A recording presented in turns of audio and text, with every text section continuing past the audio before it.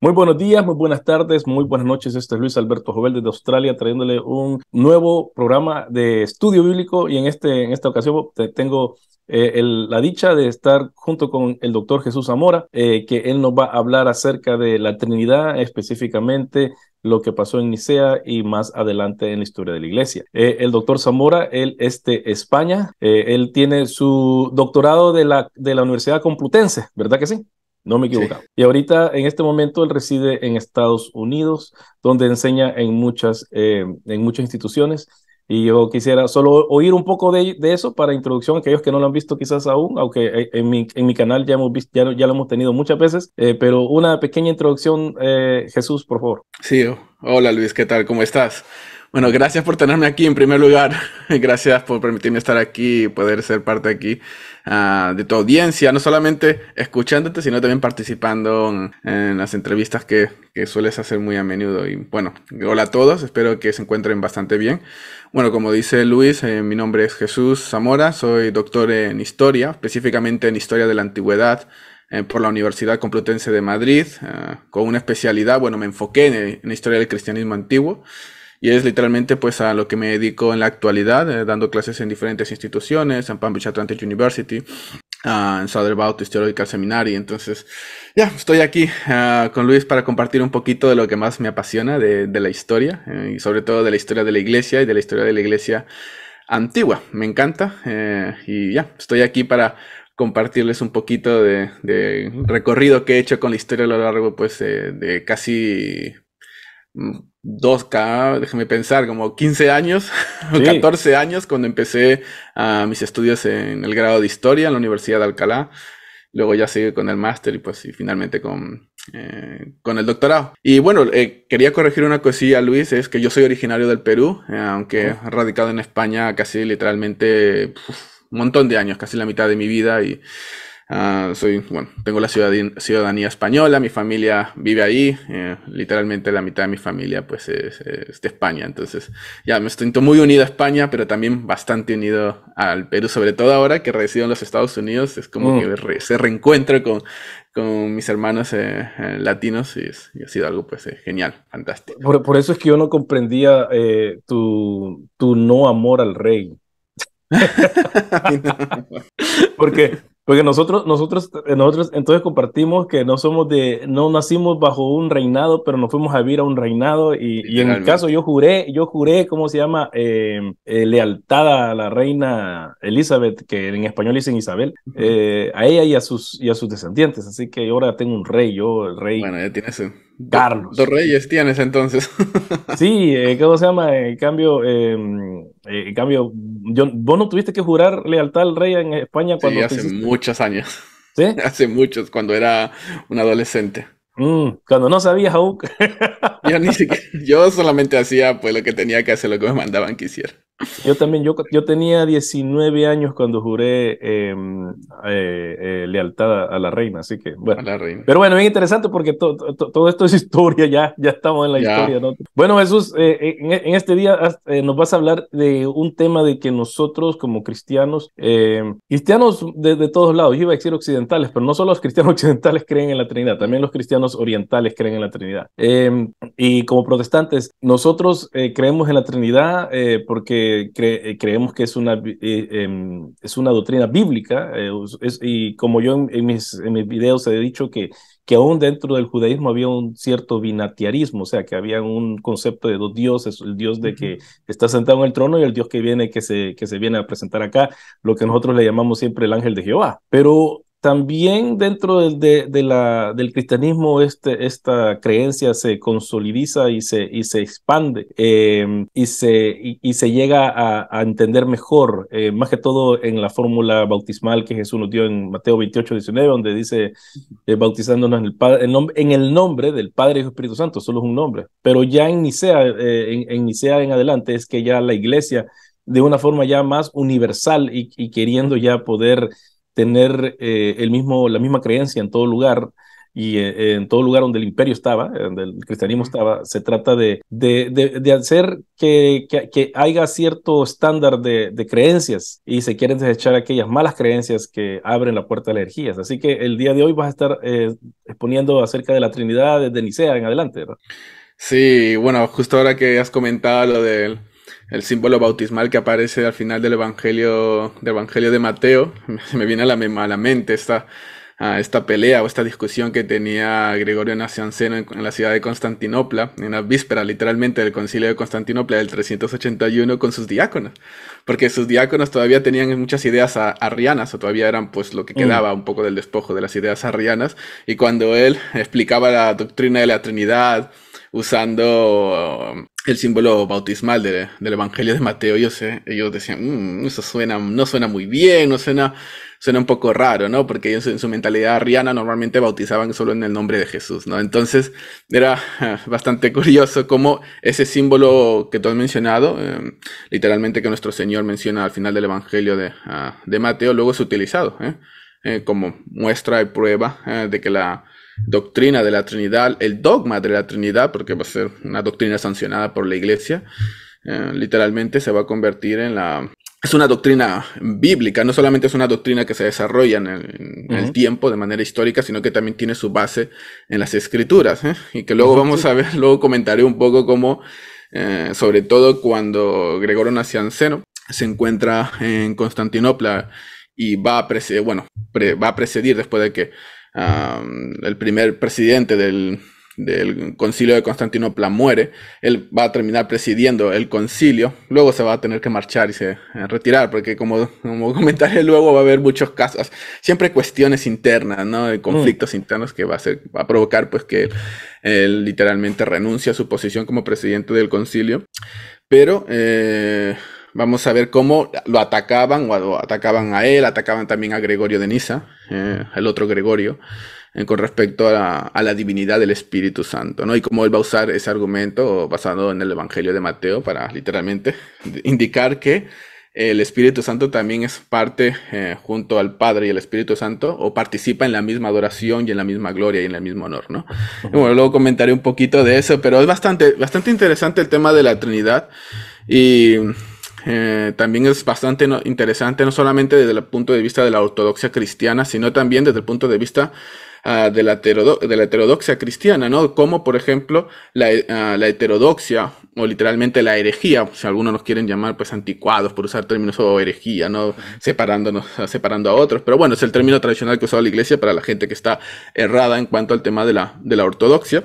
Y cómo la herejía eh, va a ayudar a la iglesia no solamente en el siglo IV de nuestra era, sino incluso también mucho antes ya, desde finales del siglo I, ah, durante el siglo II, el siglo III, y ya por supuesto durante el siglo IV y el siglo V con las grandes controversias cristológicas, va a ayudar a, que la iglesia formule estos dogmas eh, ah, que literalmente van a ser eh, la fuente, van a ser em, la base de, toda, el, de, todo el dogma cristiano, ¿no? Sobre todo porque es el dogma sobre Dios. ¿eh?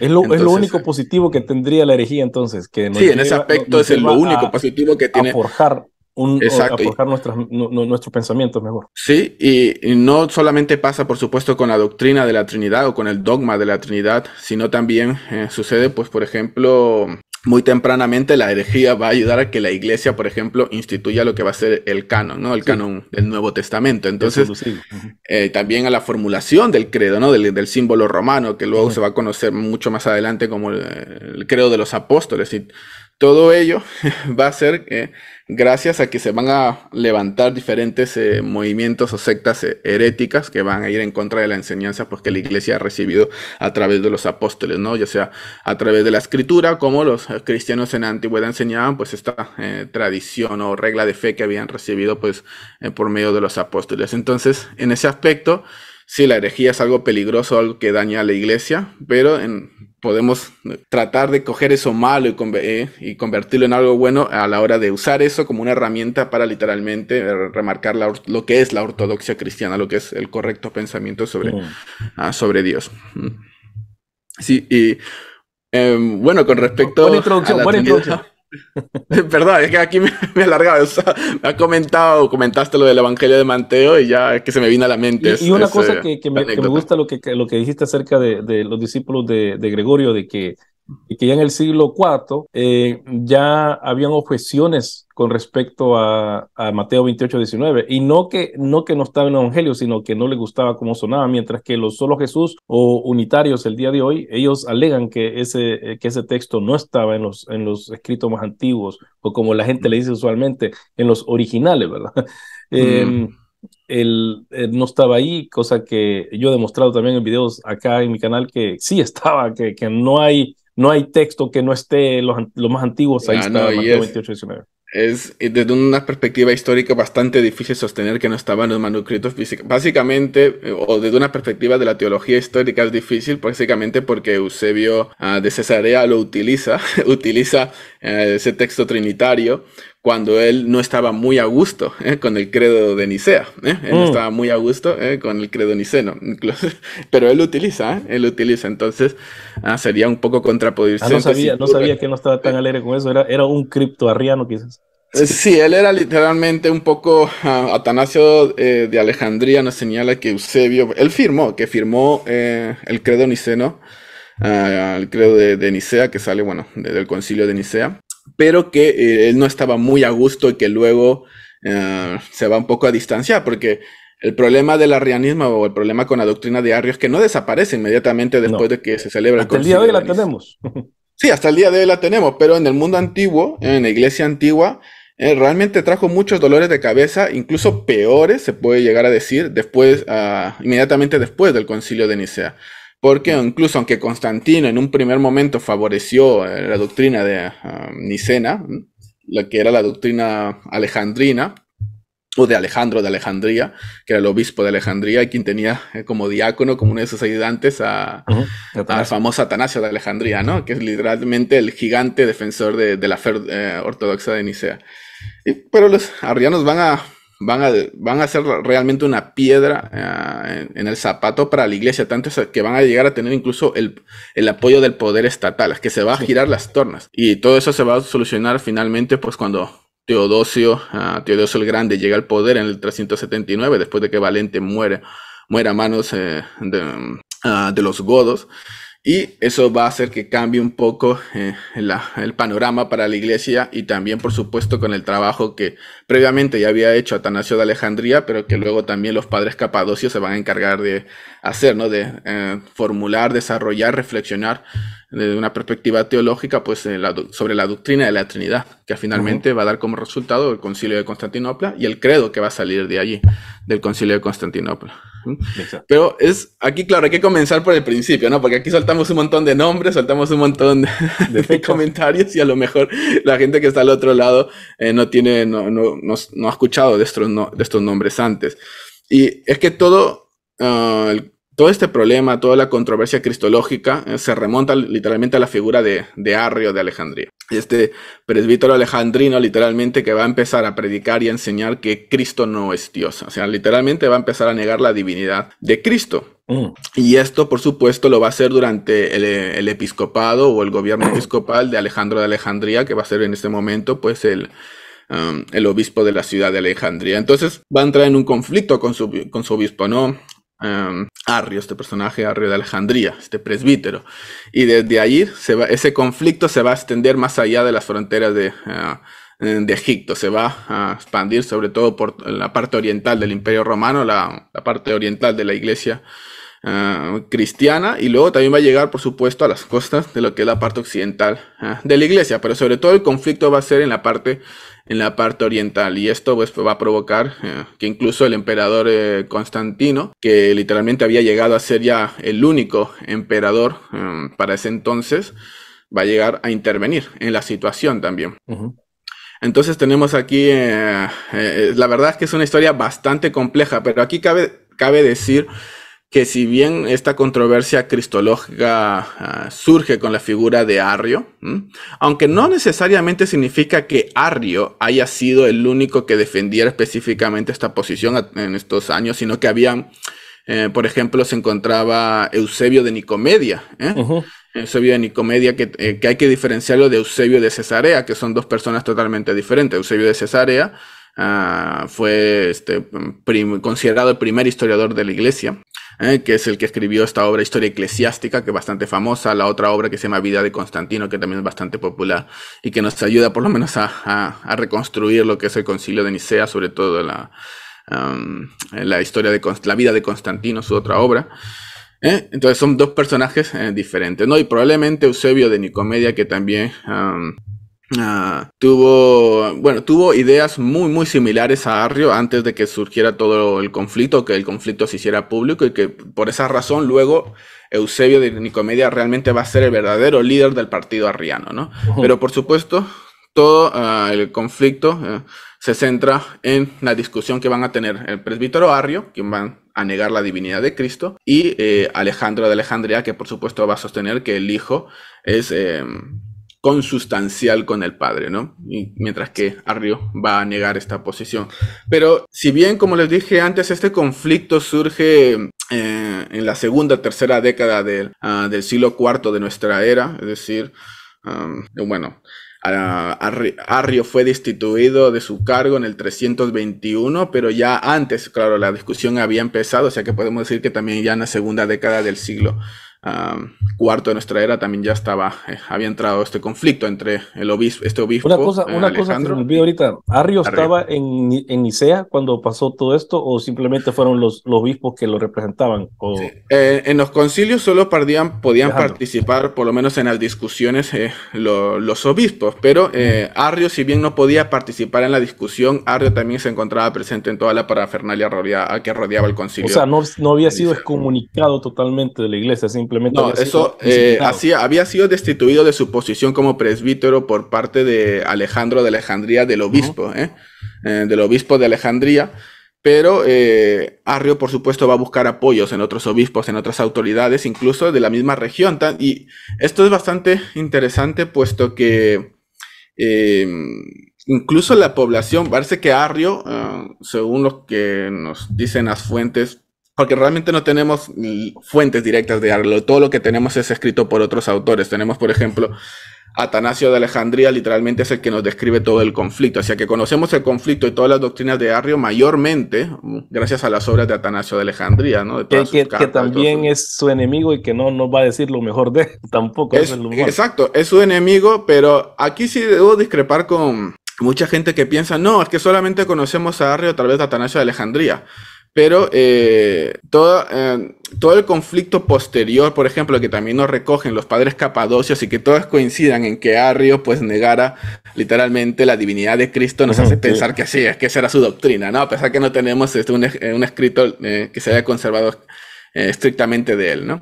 Todo lo que nos, sus cartas o fragmentos de su obra, todo lo que tenemos está registrado por Atanasio, que literalmente pues copiaba, ¿no? Cogía, recopilaba la carta y la transcribía pero ah, no tenemos algo escrito directamente pues eh, por Arrio.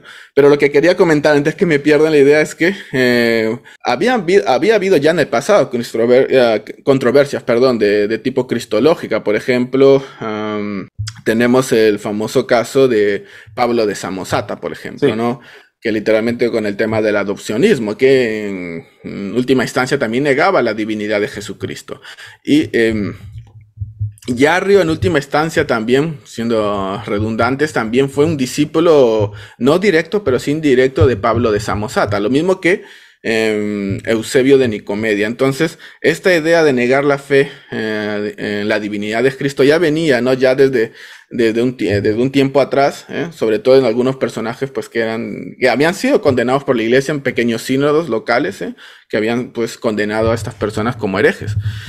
Pero, em, como les digo, todo se explota a partir del siglo IV de nuestra era con, mm. em, con Arrio, ¿eh? y en este conflicto con, em, con su obispo. Y aquí, y esto quiero resaltarlo porque es bastante interesante, porque yo siempre he escuchado, yo desde que era joven, joven muy jovencito, he escuchado, por ejemplo, a los testigos de Jehová decir que, eh, que es por causa de que la filosofía se introdujo en la iglesia con los padres, eh, con los apologistas griegos en, el siglo II, es que la iglesia empieza a girar y a, formar, girar hasta, o sea, usando las herramientas de la filosofía y a formular pues doctrinas que se apartaban de las escrituras, etcétera, etcétera. Siempre los los testigos de Jehová usan ese tipo de argumentos.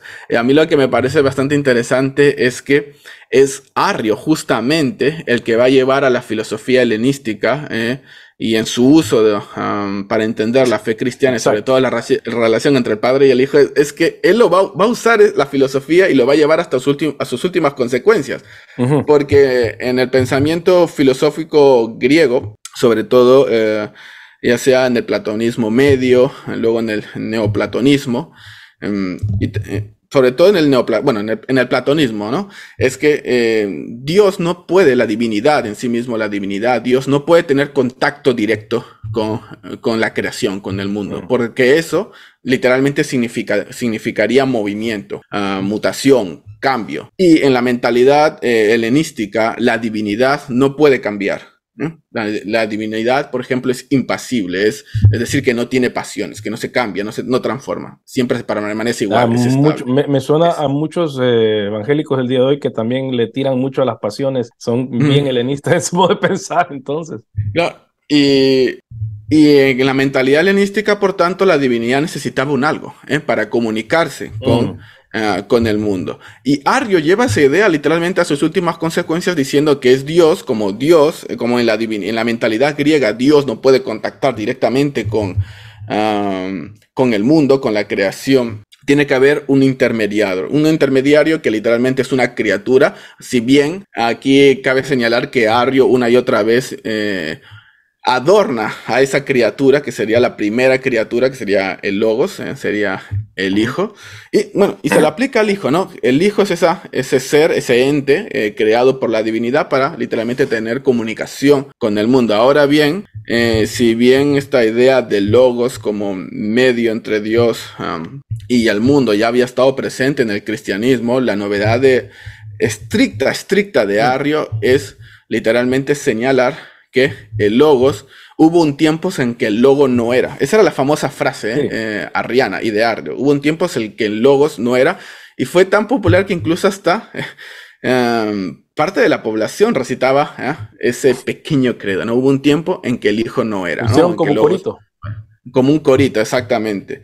Y claro, esto va a chocar literalmente con eh, lo que Alejandro de Alejandría y que luego también su, su diácono Atanasio van a defender. Y es que el Logos, eh, eh, el Hijo, literalmente había estado con el Padre desde la eternidad, desde siempre, sin ningún principio, sin ningún final, ¿no? Desde la eternidad el Padre ha estado, el Hijo, perdón, ha estado junto al Padre. Y de ahí tenemos la, generación eterna del Hijo. Exacto, una idea que es este, una idea que viene de Orígenes. ¿eh? Si el Padre ha sido eternamente Padre, entonces eh, el Hijo también eternamente Padre. Y como se enseñaba Orígenes de Alejandría, que, ah, que es usado por Alejandro de Alejandría, y que también luego va a ser usado por los arrianos. Es que vamos a usar Orígenes de aquí, lo van a coger de aquí y de allá. Y es que Orígenes había enseñado que el Hijo ¿eh? había sido generado en, en, la eternidad, o sea, fuera del tiempo, en la eternidad. El problema con Arrio es que él, es que Arrio era muy astuto y también sus seguidores.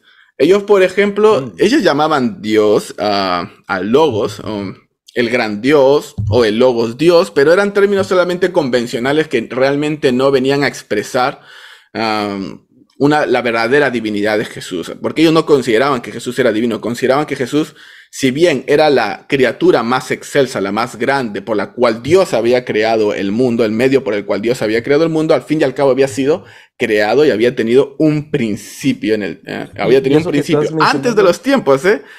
Es curioso. Que mencionando es bien importante la precisión en las definiciones que estamos usando. Por eso yo, cuando estaba yo hablando acerca del nestorianismo meses atrás, que algunos, que, que, tanto algunos grandes líderes de este nuevo movimiento reformado, como también dueños de los más grandes canales de YouTube, eh, eh, evangélicos, son nestorianos se declararon nestorianos públicamente. Entonces, eh, mm. yo, eh, tú, viste el, gran enfrentamiento que tuve con uno de ellos específicamente, porque eh, empezaron a decir de que, de que no importa, nosotros podemos hablar así, no, le digo, tenemos que tener precisión en lo que estamos diciendo para no, para no impartir herejías o, que se dejen la, nuestras palabras se dejen para, a, una interpretación la cual se llegue a una que, lo que estamos diciendo es herejía. No, y no, el tema de la precisión es bastante importante porque luego posteriormente, después del concilio de Nicea, em, los arrianos se van a juntar, los arrianos se van a juntar y van a convocar concilios también ellos, van a convocar diferentes concilios. y algo bastante ¿Perdón? Una iglesia paralela prácticamente. Sí, literal. Y, van a convocar mm, en Jerusalén, van a convocar el famoso concilio, el concilio de Antioquía, el concilio de la dedicación del 341.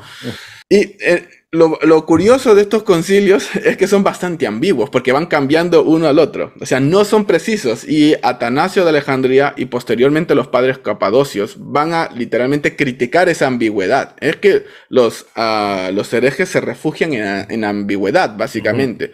Y de ahí el hecho que en el concilio de Constantinopla, por ejemplo, eh, Gregorio Nacianceno va a insistir una y otra vez en que no, tenemos que ser totalmente claros, por ejemplo, en el caso del concilio de Constantinopla con el tema del Espíritu Santo, porque si no somos completamente claros, vamos a tener el mismo, literalmente señala eso, vamos a tener el mismo problema que mm. hemos tenido después del concilio de Nicea con los arrianos. Van a venir aquí los macedónicos que niegan la divinidad del Espíritu y los vamos a tener arrastrando 50, 60 años más. No, hay que ser precisos con lo que queremos decir y bastante claros a la hora de señalar que el Espíritu Santo participa también de la misma gloria y del mismo honor que el Padre y el Hijo. Y es, misma, y es, misma, y es mismamente soberano, diría yo también. ¿Se podría llegar a esa conclusión? Eh, ¿Qué, perdón? Que sería también mismamente soberano el Espíritu Santo. Bueno, el, Espíritu Santo, de acuerdo a la teología trinitaria, la teología trinitaria que bueno, enseñan los, los padres capadocios, que realmente es lo que luego da a la fórmula del concilio del Constantinopla, el credo del concilio de Constantinopla, pues participa en lo mismo que participa el Padre, y, o sea, en la misma gloria del Padre en la misma gloria del Hijo. Si el Padre es creador, el, Hijo es creador, el Espíritu Santo es creador. O sea, participa en eso mismo, participa en esos mismos atributos divinos. Si el Padre, obviamente, mm. es soberano, el Hijo es soberano y el Espíritu Santo también eh, es soberano. O sea, pero obviamente no hay tres soberanos, solamente hay un solo soberano, pero que en esas atribuciones divinas, las tres personas de la Trinidad, participan, ¿eh? las tres personas de la Trinidad participan porque las tres participan en la misma esencia, ¿no? en la misma esencia divina. Entonces lo que se dice del Padre, ¿eh? se dice del Hijo y se dice del Espíritu mm. Santo. Ahora, por supuesto, cuando se habla de las personas hay una distinción, ¿eh? hay una hay una distinción en las personas en cuanto a que uno es padre, el otro es hijo y el otro es Espíritu Santo. En cuanto a sus atributos divinos, se, tiene, se habla de los tres lo mismo, ¿no? Por supuesto, nunca cayendo en el triteísmo de señalar, hay tres, hay, perdón, este, hay tres dioses, o hay tres omnipotentes, o hay tres omniscientes, etcétera, ¿no? O sea, no cayendo en triteísmo, sino que los tres participan, eh, el Padre es omnipotente, el Hijo es omnipotente, y el Espíritu Santo es omnipotente. No obstante, no hay eh, tres dioses, ¿eh? no hay tres dioses, sino que hay una distinción en la Trinidad. ¿eh? esto es eh, lo que se conoce como la teología de la, de la Trinidad inmanente. ¿no? Dentro de la Trinidad está, es, hay esa distinción en la divinidad interna. Pero bueno, hablando, volviendo un poquito, porque nos estamos adelantando del concilio de Constantinopla. Em, el tema, como señalaste, de la precisión es, es, es un tema bastante importante, porque si no hay precisión, Luego, pues hay ambigüedad y, si hay, ambigüedad, pues eh, juega, ah, puede entrar la herejía, jugar la herejía o que cualquiera literalmente diga lo que quiera decir. Y eso es el, lo que Atanasio señala. Atanasio y también luego los padres capadocios señalan eh, sobre el problema arriano después del concilio de Nicea. Y es que es bastante curioso cómo realmente, incluso por ejemplo en el concilio de Antioquía, este el concilio de la que se conoce como el concilio de la dedicación um, y que fue celebrado en el 341 en la ciudad de Antioquía. Literalmente se va a decir, en primer lugar se va a sacar una, un, credo y ese credo luego va a ser cambiado por otro credo en un mismo sínodo celebrado en esa misma ciudad y luego otro y así vamos a encontrarnos con diferentes credos, ¿no? Y son credos que en un principio son arrianos, pero que luego pasan a un semi-arrianismo y que luego tratan de simpatizar con el credo niceno. O sea, va a haber una evolución también dentro del pensamiento arriano, no es que va a quedarse, ah, mm, va a quedarse estancado en, que, en su negación de la divinidad de Cristo, sino que va a ir cambiando y va a tratar eh, bueno, los arrianos no, pero el partido mode, un va a haber un partido moderado, mm, que no es ni seno, ni tampoco es arriano, que va a tratar de buscar la reconciliación entre ambos grupos. Va, va, a fracasar, porque al fin y al cabo se va a imponer el concilio, el credo del concilio niceno como el, el credo, eh, el credo oficial, ¿no? De la iglesia, o la doctrina oficial de la iglesia. Y um, bueno, si no me haces una, pregunta o algo, yo sigo adelante. hoy yo sí, sigo, hoy sí. Yo, sigo adelante. Y es que, uh, volviendo otra vez, retrocediendo en el tiempo, cuando Ar está causando toda esta controversia en Egipto y que esa controversia sale de las fronteras de Egipto, que luego eh, Constantino eh, se da cuenta del problema que hay dentro de la iglesia. Eh, busca por medios resolver este problema y que finalmente va a llevar a convocar a un concilio, el famoso primer concilio ecuménico de la iglesia, ¿no? que es el concilio de, de Nicea del 325. Y aquí en este concilio se va a reunir una gran cantidad, o sea, una gran cantidad de obispos, creo que alrededor de 300 obispos se terminan reuniendo de dentro del Imperio Romano y también algunos incluso de fuera, de Medio Oriente, ¿eh? ¿Eh? que se viene, que se terminan también reuniendo dentro del concilio. El obispo de Roma no va a participar, ya manda a eh, delegados en representación. Y eh, en este eh, pues concilio finalmente se van a mostrar, van a encontrarse tres posturas, ¿eh? se van a presentar tres posturas que yo tengo aquí un pequeño mm, un pequeño PowerPoint para compartir, porque así creo que es más... Eh, mejor visual, visualizar. Mejor las diferentes posturas del, del, concilio. Si me dejan un segundito. No sé si lo pueden ya ver está ahora. Saliendo, ya va a salir, ya está por salir. Ahí está ya. Ok, entonces, dentro del, eh, de las, en la celebración del concilio de Nicea van a haber tres posturas eh, que va a ser, van a estar bastante definidas. No van a ser estrictamente las únicas tres, pero por lo menos van a ser las tres más importantes. Por un lado está la postura arriana, que va a defender literalmente la, eh, la postura del heteroucio, ¿no? Que significa literalmente diferente naturaleza, ¿no? Diferente naturaleza, distinta naturaleza. Ahí les he puesto ahí entre paréntesis más o menos el significado. Diferente sustancia también. Uh, usía, que es el término griego eh, para hablar de naturaleza, también se traduce por sustancia, substantia, que es el término que se usa en latín. ¿Eh? que se translitera literalmente al español como sustancia, ¿no? Sustancia, esencia, naturaleza vienen a significar lo mismo. Y para alguien que no sepa o no sepa a qué se referían, pues los padres eh, de la iglesia con el término sustancia, es un término literalmente usado en la, filosofía, en la filosofía antigua, específicamente iniciado por, por Aristóteles. Aristóteles es el primero en utilizar el término usía en el sentido filosófico, ¿eh? por supuesto aunque ya Platón también utilizaba el término, pero lo hacía para, eh, para hacer referencia a lo que se habla de algo, de un ser, de un, ente y no se puede hablar de otro. Y eso es lo que literalmente pues significaba usía, sustancia o naturaleza. Mm. Y eh, el partido arriano eh, que defiende esta diferencia de naturaleza entre el padre y el hijo. O sea, literalmente aquí tengo, voy a poner un, una pluma, un lapicero, bolígrafo, como quieran llamarle, literalmente va a defender que, el padre y el hijo, como pueden ver aquí, hay un signo igual marcado con una ah, raya en medio, que literalmente significa diferencia. Si hay una diferencia entre la naturaleza del padre y del hijo, o sea, no son ah, de la misma naturaleza. El hijo, para Ah, para el partido arriano que estaba literalmente comandado por, voy a escribirlo aquí, Eusebio, vamos a poner aquí, no sé si se verá, de Nicomedia, no sé si se ve, Eusebio de Nicomedia, espero que se, espera que lo, lo, he escrito un poco chueco, pero bueno, creo que se entiende.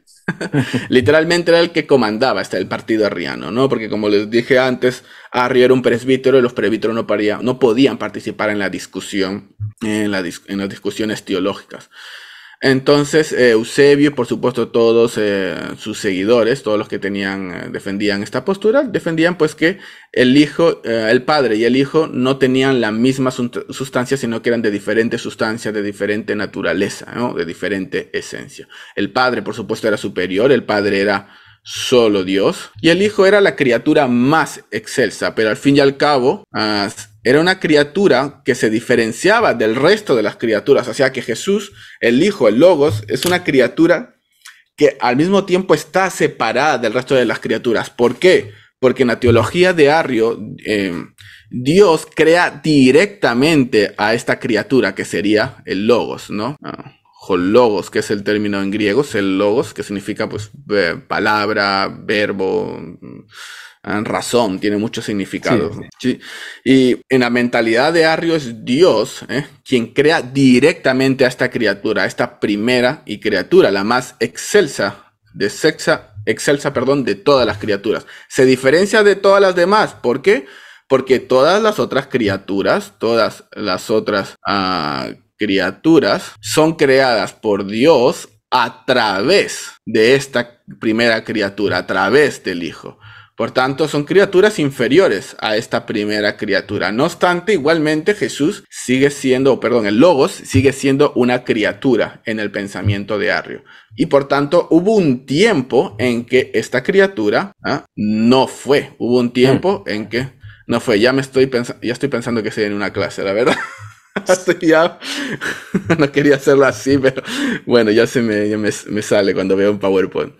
Ok, entonces hubo un tiempo que en la mentalidad de Arrio el hijo no fue, por tanto mm, no existía y mm. no participaba de esa divinidad ah, que solamente le pertenecía al padre. Luego estaba eh, un segundo partido que yo aquí he colocado que es el partido intermedio, el partido moderado, que buscaba literalmente una reconciliación o una, un acercamiento entre las posturas opuestas, que era la postura pues eh, eh, de Arrio por un lado y la postura de Alejandro de Alejandría por otro lado. Y aquí tenemos que mencionar que uno de sus máximos representantes fue Eusebio de Cesarea, el famoso Eusebio de Cesarea, Cesarea, que es, uy, no, ok. Uy, me comí una E. Perdón, que aquí tengo, tengo a Luis Jovel en, en César. César. Me, comí la, me comí la E, perdón, pero es que tenía ahí tu cara encima, Luis, no podía dibujar. Por eso se me pasó. Ok, Eusebio de Cesarea. Podemos, verlo. Yo, yo, te, yo estaba moviendo, en mi pantalla estaba moviendo nuestra, nuestras, nuestras cajitas. Oh, vale, vale. Las puedes mover. Trata de moverla, vas a ver. Sí, voy a moverlo, voy a mover las cajitas para aquí, ahora sí puedo Ahora sí, ahora lo puedes agregar ahí y... Sí, voy a, voy a quitar esto y voy a escribir Cesarea. Yo no sabía, yo me estoy enseñando ahorita, yo creo que en mis clases voy a empezar también a usar PowerPoint porque te estoy viendo tus errores y, y, lo, está corrigiendo en vivo y así que yo también voy a hacer lo mismo. y, bueno, pues Eusebio de Cesarea literalmente bueno, defendía esta postura intermedia, la del homoousios, que literalmente significaba de parecida sustancia o de sustancia ah, similar. ¿eh? Y defendía pues que sí, que el padre y el hijo participaban de una sustancia similar, como pueden ver les he puesto aquí el mismo color azul para que se hagan una idea que es una sustancia similar, parecida, no obstante todavía hay diferencia entre el padre y el hijo. Y en esta eh, teología moderada que luego va a desarrollarse muy posteriormente, ya casi muy cerca del concilio de Constantinopla, eh, va a defender que el hijo pues se subordina al, estaba subordinado eh, al padre. Eh. Entonces va a ser también una postura que no se va a aceptar dentro del concilio de Nicea y que por supuesto va a ser rechazado también por los grandes defensores del concilio de Nicea posteriormente. Y esto ah, pues es el partido pues moderado. Pero luego había el partido que es el que va a triunfar, ¿no? Que va a ser el partido vencedor del homoousios, ¿no? Que significa literalmente misma sustancia. Homo, que significa literalmente igual, ¿eh? Y usios, que viene de la palabra usías, que significa naturaleza. Misma naturaleza, misma sustancia. ¿Mm? Y es el partido, no, no el, el paritido, sino el partido ¿eh? vencedor que literalmente defendía que el Padre y el Hijo eran consustanciales de la misma naturaleza y que por supuesto el Hijo era engendrado en la eternidad, no en un sentido humano, por supuesto, cuando los padres están hablando de la eterna generación y específicamente doctrina que se basa en la doctrina de orígenes de Alejandría, no están hablando en ese sentido, no, están hablando, hay que abstraernos del sentido material humano de, genera, ah, de, engendrar, ¿no? Si no están hablando de una generación perpetua en un sentido espiritual que realmente es bastante complicado de explicar en términos simples porque está más allá de nuestra comprensión. ¿eh? Pero ¿eh? el Hijo era engendrado, pues era engendrado en la eternidad ¿eh? por el Padre, ¿no? El Hijo es nacido del Padre y engendrado en la eternidad, o sea, antes del tiempo, antes de la creación. O sea, esto es solo en la divinidad, en Dios.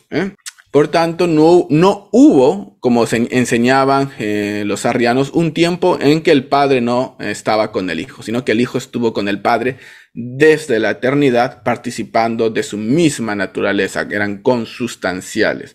Y esta es la postura ah, vencedora, esta es la postura que va literalmente a vencer y a darnos el famoso credo de Nicea, ¿no? que va a condenar, por supuesto, la doctrina de Arrio, y que se va a mantener y que se va a sancionar como la doctrina oficial ¿eh? ortodoxa de la iglesia. Ahora bien, algunos pueden decir, oye, pero esto fue algo ah, inventado en el siglo IV, que nadie pensaba así, que entonces si, ah, si habían varias posturas significaba literalmente que que la postura nicena, la postura vencedora es una entre tantas y no necesariamente tiene que ser la verdad. Pues no, esto no es así, no es tan sencillo como se puede pensar, no es de esta manera.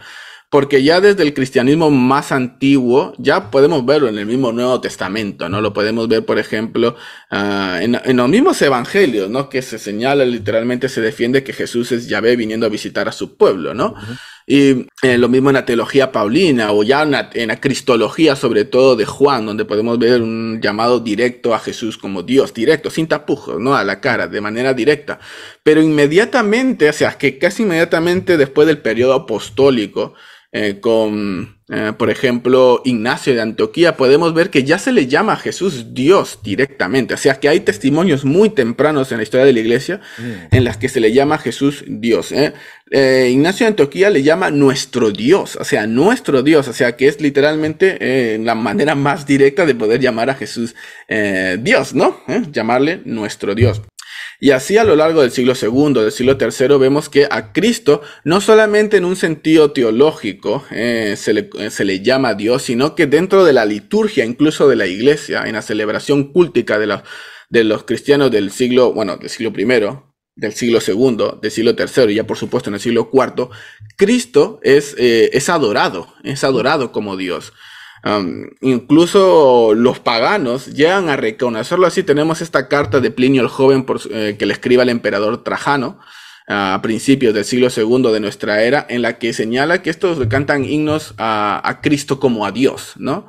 Entonces incluso los mismos paganos se dan cuenta de esto, que, que a Cristo, a esta persona que había sido crucificada, los cristianos eh, le llaman Dios. Incluso eh, en el bautismo, y el bautismo es trinitario, o sea, directamente ya desde las páginas del Evangelio de Mateo y a lo largo del siglo II, del siglo III, se utiliza eh, el símbolo trinitario a la hora de bautizar, no se bautiza en el nombre del Padre, el Hijo y el Espíritu Santo. Entonces, esto no era algo que solamente... mencionaste, que Juan Tomás, en, en los labios de Tomás, de una sola vez le dice Dios y también en Juan 1.1 cuando dicen el principio del verbo y el verbo estaba con Dios y el verbo era Dios. O sea que en el principio del Evangelio vemos que Dios es, que Jesús es llamado Dios. Al final del Evangelio vemos que los discípulos, en este caso Tomás, eh, reconoce que Jesús es Dios. Em, el concepto de, el, este concepto no, es como dicen siempre que hasta el siglo IV aparece, ¿no? Para nada. En, las páginas de la Biblia. Sí, es un concepto o sea, bastante antiguo, o sea, que está desde el periodo apostólico y que se aprecia desde muy temprano en el siglo II, llamando directamente a Jesús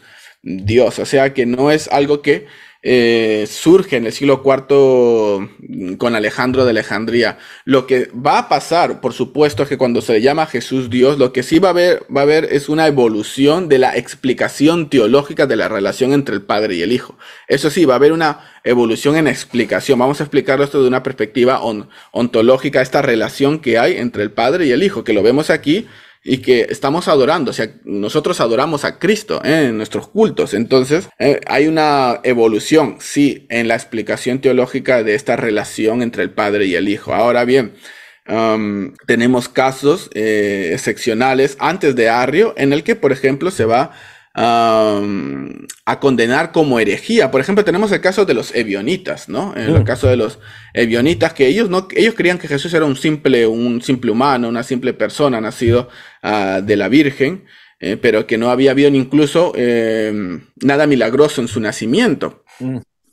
No obstante, la iglesia ya desde muy temprano condena también a los ebionitas como herejes. O sea que la iglesia va condenando, sí, localmente, no es algo que va a abarcar a toda la iglesia como en el siglo IV, pero la iglesia constantemente está condenando a ciertos grupos herejes que van negando la divinidad de Jesús. Y si lo están negando es porque hay un grupo eh, eh, que realmente mantiene firmemente que Cristo es Dios. Y esto se ve en la literatura cristiana de, ah, por lo menos en la literatura cristiana em, ortodoxa, porque luego tenemos el caso de los gnósticos, eh, podemos ver una constante adoración a la persona ah, del Hijo. Y ahora, claro, todo está ya en el siglo IV porque algo local sale disparado hacia el oriente y amenaza con expandirse dentro de los límites del Imperio Romano y por eso la iglesia salta, ¿no? La iglesia salta, responde, Constantino también, porque puede que esto puede causar problemas dentro del Imperio Romano. Pero incluso dentro del concilio de Nicea, y esto es bastante interesante, cuando eh,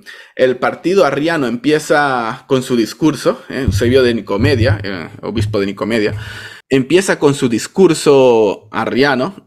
Es bastante curioso porque él piensa que todo le van a apoyar, ¿no? Porque él piensa que esta es la enseñanza apostólica que todo el mundo ha creído.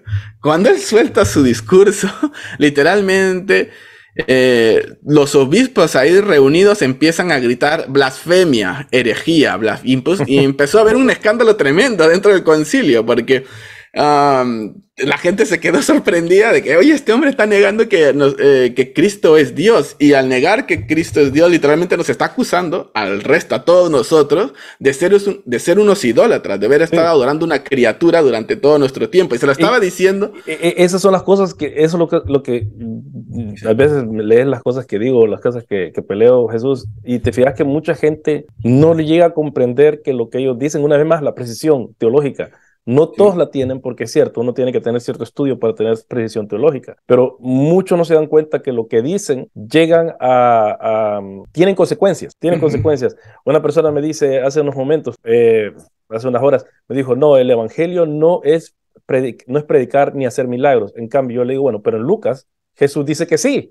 Jesús dice mm. que, que, que, que, los ciegos están recibiendo, eh, están recibiendo eh, la vista, los, los, oprimidos están siendo libertados y, y, las buenas nuevas están siendo predicadas. Y esas son las buenas nuevas. Entonces le dije, entonces Jesús mintió.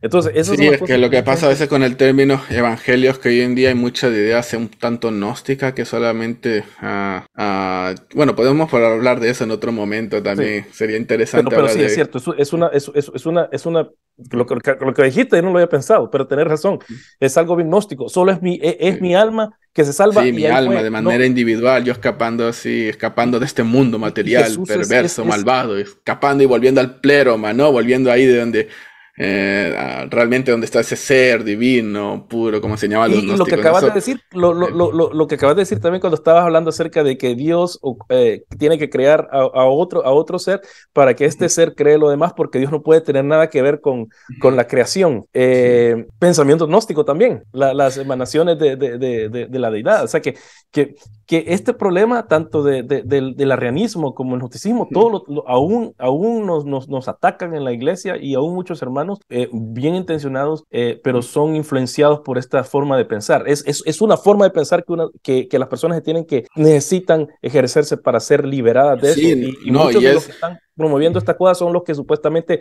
están salvando el evangelio el día de hoy y en realidad están promoviendo no, Sí, no, tienes razón. Y es que el tema de la precisión es ah, algo bastante importante.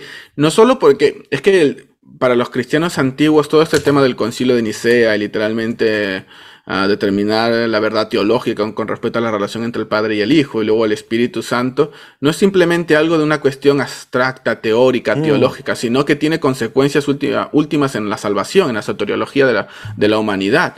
Y Atanasio hace hincapié en eso, es que si el logos eterno, hacia el logos, el, hacedor, el, el, artífice, el creador de los seres humanos, no se ha encarnado, si es una criatura, realmente no, es que no podemos ser salvos, o sea, es que si no podemos ser salvos por medio de una criatura, o sea, no entra eso en la mentalidad, ah, en la mentalidad de los padres, y tampoco es que no, no debería entrar en nuestra mentalidad que no podemos ser salvos por medio de una criatura, de ahí el hecho que mm. una y otra vez Atanasio y los padres capadocios, que son los combatientes en constantes contra los arrianos, llamen una y otra vez estos irreligiosos, odiadores de la verdad, o sea, porque realmente con estas ambigüedades, ¿eh? y Atanasio lo menciona en sus obras, es ah, que son unos irreligiosos que están literalmente poniendo en riesgo eh, la salvación del género humano, ¿no? Mm. Y eh, literalmente señalar que, eh, que el Hijo... Ah, el logos no es Dios o no es divino, no es consustancial con el Padre, literalmente es negar la salvación al, género humano. O sea, y esas consecuencias eh, son peligrosas. O sea, que por eso de ahí viene este famoso credo de Atanasio atribuido a él, este credo trinitario posterior, que es muy posterior, porque se ha atribuido a él, aunque no, no haya sido escrito por él, pero es que en ese credo se señala que el que realmente no cree en la Trinidad no puede ser salvo. Es que para ellos es una consecuencia Ah, lógica, el no, ah, no creer en la Trinidad o no creer en la divinidad de Jesús, es literalmente, es que literalmente tú no puedes ser salvo porque no estás creyendo en alguien que realmente te puede salvar. Y e, esa es una pregunta que siempre hacen los hermanos en, los videos y en los escritos. ¿Y usted cree que una persona que no cree, que, que, no cree en Jesús es Dios y no cree en la Trinidad es salvo? Yo, yo soy bien tajante. No, no, no. La iglesia, ¿cuándo la iglesia ha creído que sí? Nunca hemos creído eso. Es que no. no es que pero porque, porque, por los unitarios, más que todo en, en Latinoamérica, em, que, que, son muchos y muchos de ellos son buenos hermanos, buenas personas, mejor dicho, pero yo le digo, pero no son hermanos en Cristo. Ellos no, ellos, ellos creen que ellos creen que, un, que una criatura puede salvar a otra criatura. Y ya, es que ese es. Em, luego ya, o sea, ya posteriormente también se ha presentado el problema con bueno, ya en el, en el concilio, bueno, podríamos hablar, un, estaría, interesante hablar del concilio de Éfeso y del concilio de, uh, de Calcedonia también en otra oportunidad. Sí, sí, sí. sí sería bastante, bastante interesante, sí. Pero um, es que para los padres de la iglesia, sobre todo um, para los padres nicenos, era muy importante. Si había una relación directa entre salvas, entre la consustancialidad entre el Padre y el Hijo y la salvación, o sea, que era algo eh, que estaba unido, que no se separaba, o sea, eh, mantener literalmente la herejía arriana literalmente era mm, literalmente relacionado eh, con la condenación, eh, con la, era relacionado con la perdición, con la eh, que no poder ser salvo, no literalmente, no poder participar en la salvación ah, de Cristo. Y luego, o sea, después del concilio de Nicea, cuando se condena, se condena el arrianismo, Arrio literalmente es mandado al exilio. Mm, Eusebio de Nicomedia, que si bien defendía en un principio, ah, defendía en un principio la posición arriana, va a firmar el concilio de Nicea, pero luego se vuelve otra vez arriano, o sea que va a hacerlo por presión. Luego tenemos el caso de Eusebio de, eh, de Cesarea, que Atanasio le dice, este hombre, ¿cómo puede ser que firmó aquí el concilio niceno y ahora se muestra tan ambiguo, tan moderado? Y, y es que después del concilio de Nicea, los arrianos literalmente se van a ganar otra vez el favor de Constantino. Eusebio de Nicodemia probablemente, tampoco es que haya una seguridad certera, pero probablemente haya sido un, pariente lejano del emperador y por eso tuvo acceso al emperador. Se por eso lo, y, él es el que lo bautizó al final, ¿no? Al final de... de morir. Sí. Ah, y luego los hijos también de Constantino, que van a ser otra piedra de zapato para Ah, para la iglesia porque van a ser más pro-arrianos. Entonces, los arrianos literalmente van a hacerse con el poder. ¿eh? Se van a hacer con el poder, van a empezar a destituir a un montón de, obispos que están en favor de. Fue Atanasio, por eso Atanasio lo mandaron al exilio tantas veces. lo mandaron al exilio, boludo, por es que ese hombre sí fue un mártir. O sea, esto se lo hicieron sufrir los arrianos un montón. Y a veces no me sorprende de que Arriano pues, se metiera tanto con ellos, de que les, les realmente. No es que te estaban insultando o que solamente te estaban haciendo algo por Facebook o por YouTube o por, no sé, no era algo, sino que te estaban mandando literalmente al e-, exilio. Esos sí eran, esos eran, ¿cómo se llama? Eh, eh, mártires. Mártires, es que estaban haciendo, uh, estaban literalmente acabando en un sentido con tu vida, con tu comodidad, con todo lo que sea, porque te estaban alejando de todo. El, exilio literalmente era condenarte a muerte, ¿eh? en otras palabras, porque te aislaban de la sociedad. ¿eh? Em, entonces no, es sorprendente que Atanasio les, tuviera, les escribiera, pero de manera tan dura, ¿no? En, sus obras, ¿no? Y se metiera incluso, bueno, a ver, tampoco es que se eh, fuera tan específicamente ah, directo o duro con ellos, pero está llamando estos irreligiosos, estos odiadores de la verdad, ¿no? Que al, final, al, fin y al cabo eso era lo que eran, ¿no? Pero em, ya es con los padres capadocios que también ellos empiezan a, cuando empiezan a combatir, también contra el arrianismo, es que vamos finalmente a llegar al concilio de Constantinopla. ¿eh?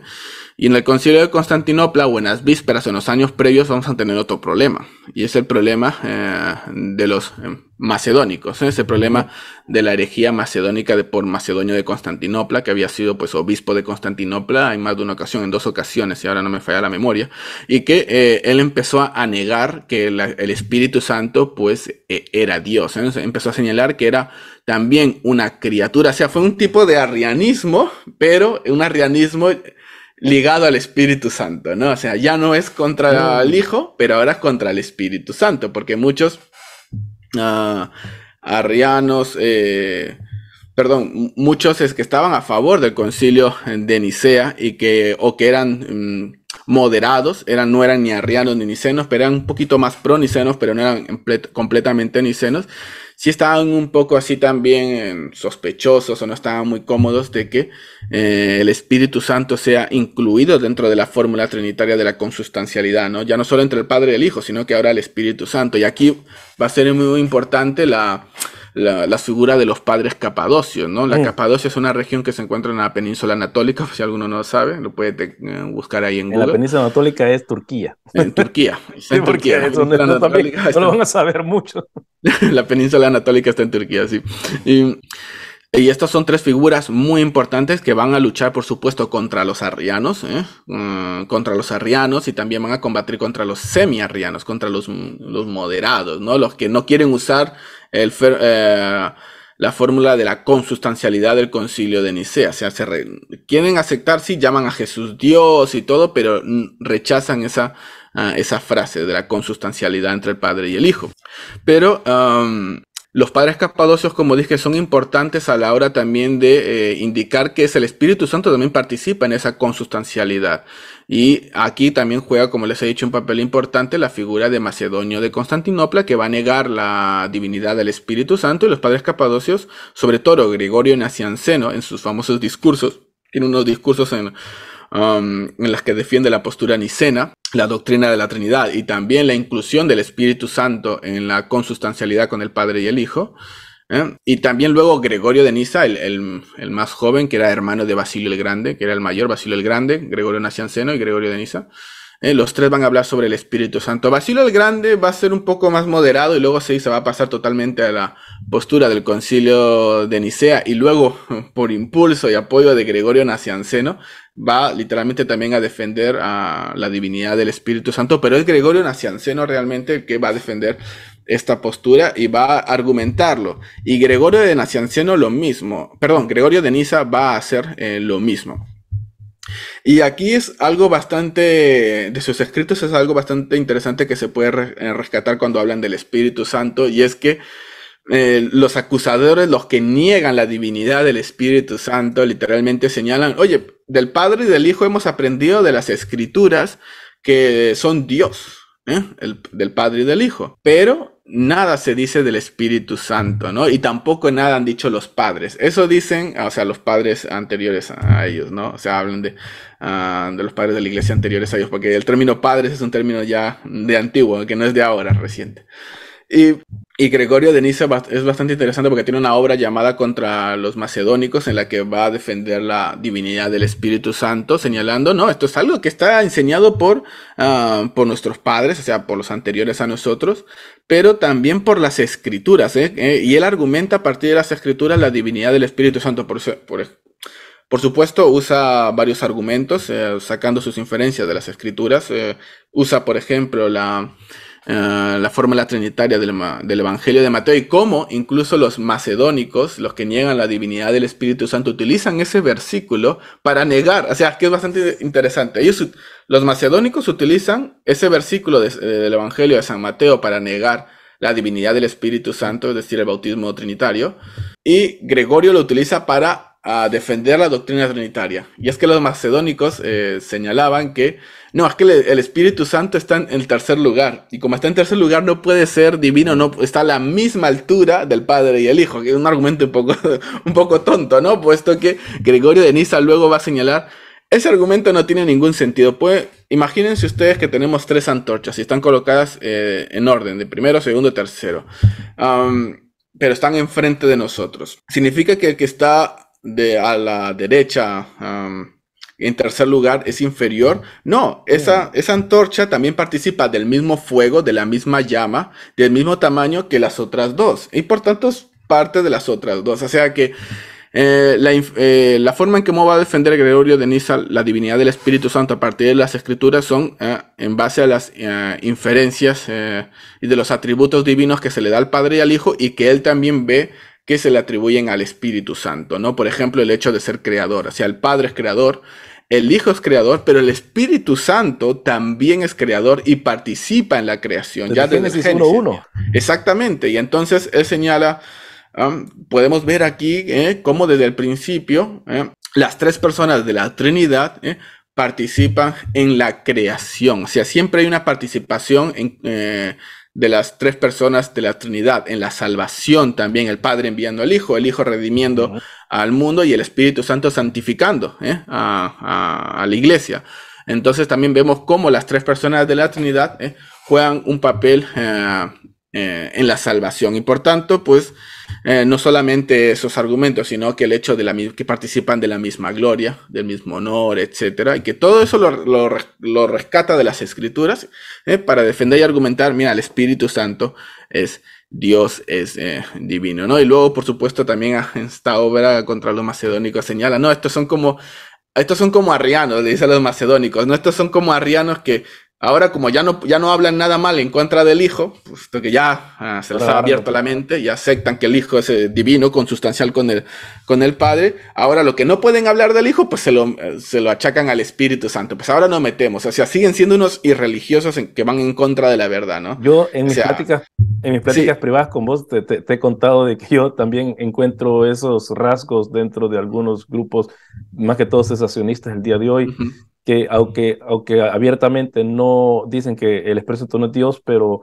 en las repercusiones de lo que ellos niegan, por ejemplo, que, que, que, el Espíritu Santo ya no da dones el día de hoy, que ya no puede dar dones el día de hoy. Entonces, bueno, sí, eh, mi, mi, mi, refutación a eso, bueno, si es todopoderoso, si el, si el Espíritu es todopoderoso y al decir que no puede dar ya dones ahora, entonces es decir que no es todopoderoso, entonces, y, y muchas de esas cosas. Para ir terminando ya, Jesús, ya los últimos 10 minutos que tenemos, ¿cómo, cómo pudiéramos eh, eh, en, este, con, los, con los capadocios, cómo podemos ver, eh, porque me gustó lo que has dicho, que los arrianos se concentraron en el ataque contra la persona del Señor Jesús. Eh, el, el, el, arrianismo 2.0 o 3.0 sería el macedon, macedonianismo, macedonianismo. Eh, pero al padre nunca lo han tocado, por, por lo visto. No, bueno, al padre, bueno, hubo eh, anterior al concilio de Nicea tenemos la herejía patripacionista también. Ah, sí, sí, sí. Sí, o sea, tenemos de todo. Bueno, en ese caso, eh, en el patripacionismo, también conocido como el modalismo, ¿no?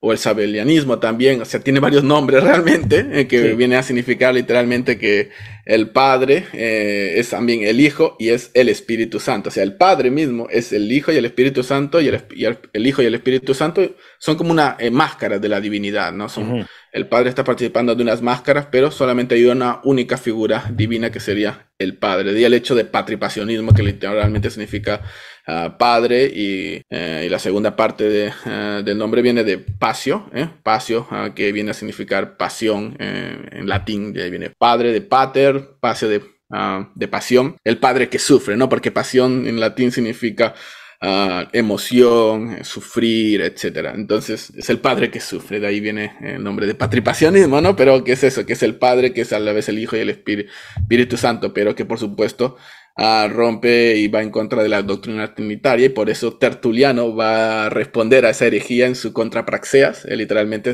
señalando que eh, la, hay un solo Dios en una sola sustancia, eh, esencia, ah, ah, una, sola sustancia, pero que hay tres personas diferentes en esa sustancia, ¿no? Tres distinciones diferentes, el Padre, el Hijo y el Espíritu Santo. El Padre no es el Hijo, el Hijo no es el Espíritu Santo y el Espíritu Santo no es el Padre. ¿no? Hay, son tres personas diferentes en una sola eh, sustancia, pero un solo Dios. En cambio, en el, en el patripacionismo no es así. Solamente está el Padre que realmente va cambiando su máscara, ¿no? Va cambiando ah, de máscara en el momento de la creación es el Padre, en el momento de la redención esa misma figura es eh, eh, el Hijo y luego en el momento de la santificación es el Espíritu Santo. Entonces, ya es, es otra herejía, pero ya había sido condenada por la iglesia anteriormente.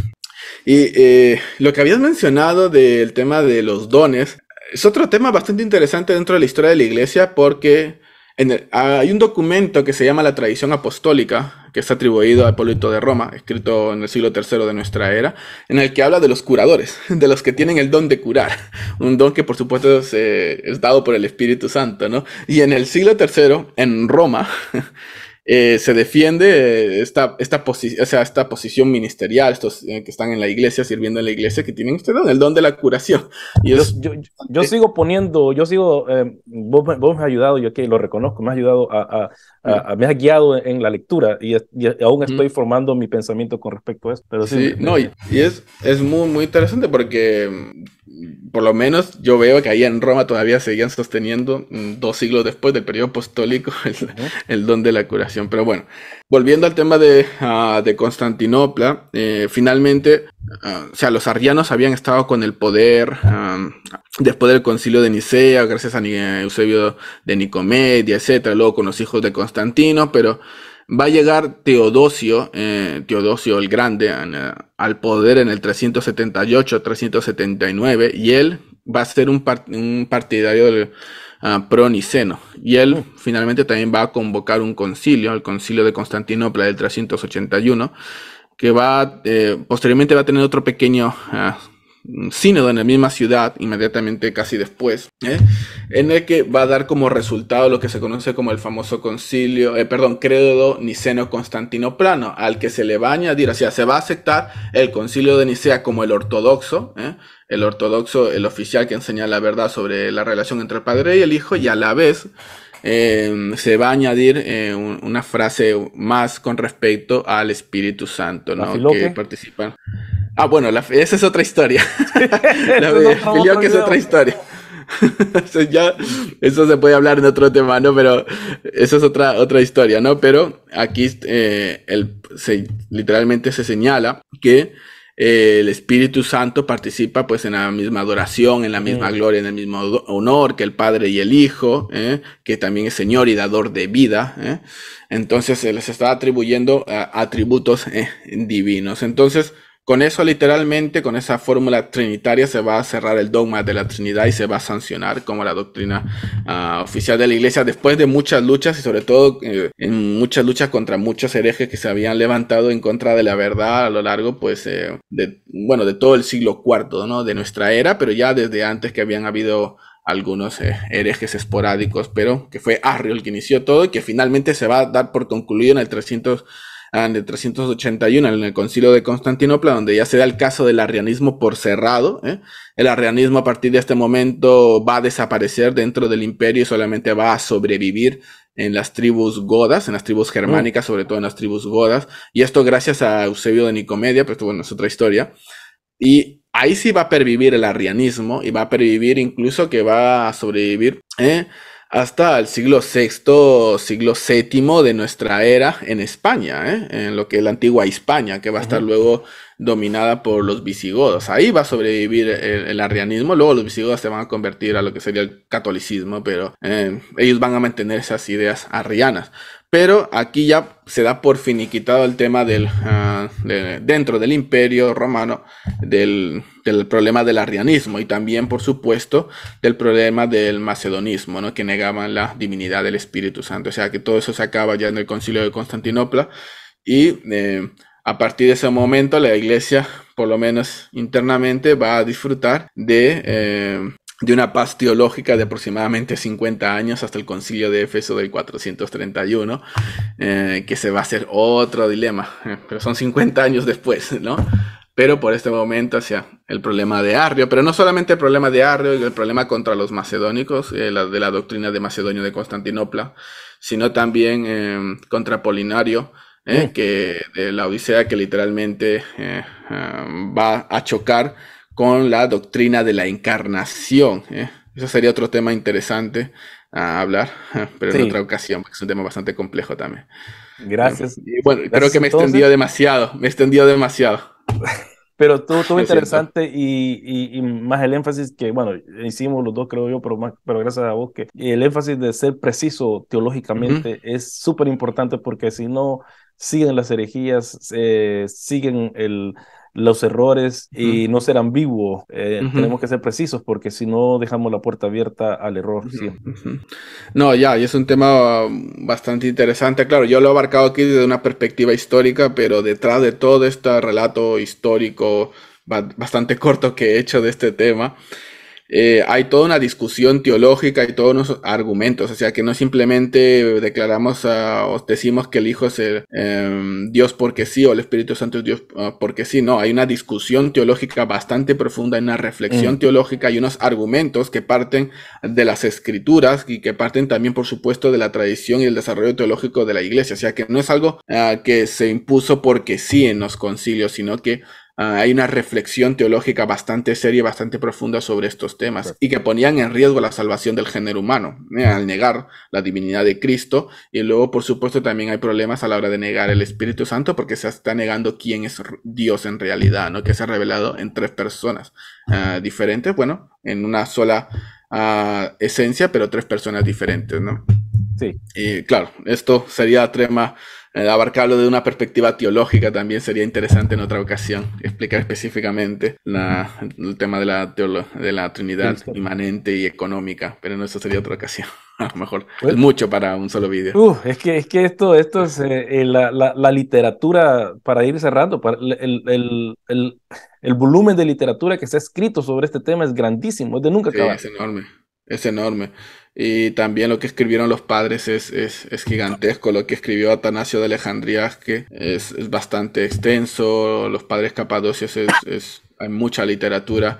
Yo constantemente tengo, yo lo que normalmente suelo hacer en, mi, en mis lecturas de la patrística, bueno, yo siempre estoy leyendo algo de los padres de la iglesia. O sea, yo hago, hago como mi Biblia. Si alguno está interesado en leer el tema de la patrística, yo le recomendaría más o menos hacer, yo como hago con mi Biblia, yo empiezo la Biblia, la termino, la vuelvo a empezar, la termino. Así hago con los padres de la iglesia. Mm. Yo empiezo, termino, y claro, hay padres de la iglesia que han escrito tanto que yo, por ejemplo, si le dedico, ok, estas dos semanas la voy a dedicar a, leer, yo que sé, una, una o dos obras de San Agustín. Luego me paso hasta que de diciembre termino de leer, eh, llego hasta el siglo V acabo de leer en el siglo V y luego, ok, vuelvo a empezar, pero vuelvo a leer otro libro que no he leído de ese mismo autor y así voy haciendo porque es que es bastante, bastante extenso la literatura de los padres de la iglesia y no sé si me alcanzará la vida para poder terminar de leer toda su literatura, que es inmensa. En el mundo solo hay tres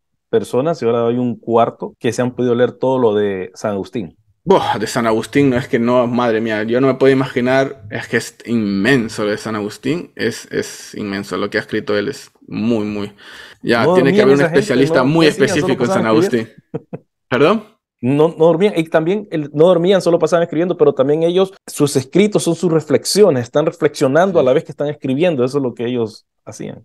Sí, no, y y son obras bastante profundas, ¿eh? no son obras en plan escritas a la ligera, son obras son unas reflexiones de varias décadas de ellos mismos, que luego suelen lo publican, por ejemplo, al final de sus vidas o cuando ya ven que ya están en las vísperas de su muerte y lo terminan publicando. Pero es que ah, sus obras son muy profundas, hay una reflexión, una reflexión que no es simplemente de carácter teológico e intelectual, académico, sino que hay una vida devocional eh, detrás. Mm, ¿eh? Sí, es cierto. Gregorio, sí, Gregorio de Niza, por ejemplo, él estaba dedicado a la vida contemporánea contemplativa, a la vez que a la vida teológica, intelectual, lo mismo Gregorio Nacianceno, bueno, Basilio el Grande, el mayor de los padres capadocios, él era más de tipo político, metido en cuestiones de política y, esto, pero los otros dos estaban muy metidos en la vida contemplativa, entonces...